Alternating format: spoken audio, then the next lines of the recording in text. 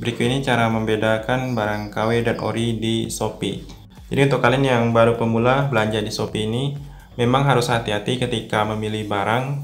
Jangan langsung beli, karena ini toko online, jadi antara penjual dan pembeli itu dibatasi jarak jaraknya sangat jauh. Jadi kalau kita membeli barang yang salah untuk komplainnya itu memang agak rumit atau butuh biaya lagi. Jadi berikut ini saya jelaskan beberapa tips untuk kalian yang ingin membeli barang KW atau ori. Untuk kalian yang ingin beli barang ori, benar-benar ori, itu kalian lihat di sini ada kategori Shopee Mall.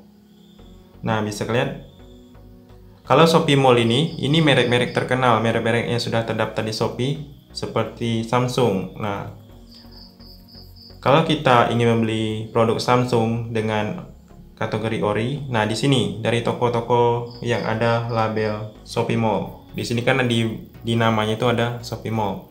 Berarti ini produknya tidak ada yang KW. Jadi tenang saja kalau kalian yang membeli lewat kategori Shopee Mall ini. Kemudian kalau kalian yang lagi mencari barang seperti ini, ini kita bisa membedakan ori atau KW-nya. Misalnya kita mencari yang namanya headset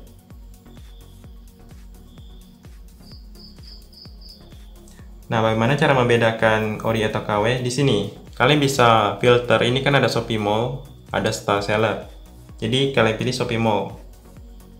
Nah, kalau produknya yang ada kategori mall ini, mall, nah itu produk ori yang seperti ini.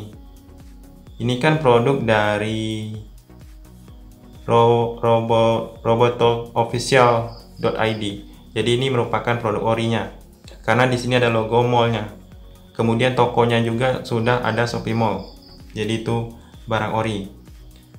Kemudian kalau kita filter menggunakan ini star seller, itu memang terkadang ada produk ori yang dijual.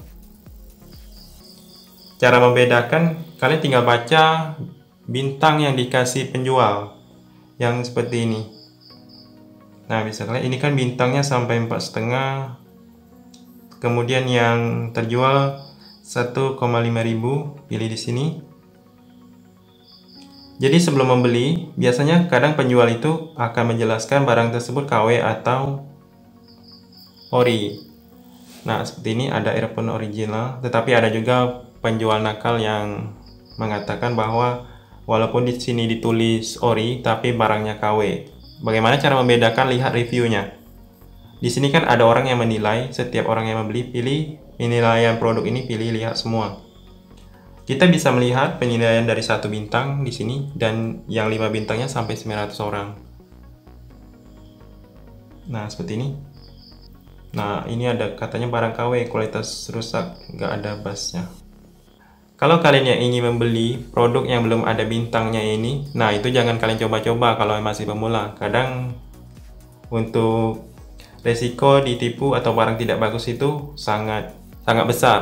Kemudian kalau kalian yang melihat ada barang yang dijual dengan merek yang populer terus harganya cuman 45.000 kan itu sudah tidak masuk akal biasanya merek-merek yang punya nama mana mungkin menjual handphone headphone seperti ini cuman 45.000 jadi kalau ingin lebih aman, saya rekomendasikan lewat kategori Shopee Mall ini.